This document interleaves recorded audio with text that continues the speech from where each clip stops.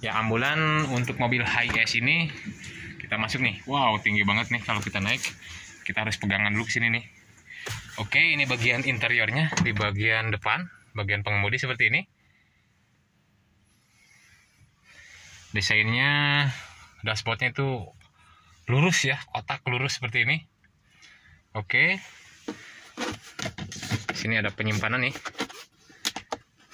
Iya. Bisa dipakai buat meja mungkin ya di sini. Oke. Ini tuas pengemudinya atau sorry tuas transmisinya ada di sini di atas atau di daerah dashboard. Itu setirnya seperti ini, head unitnya.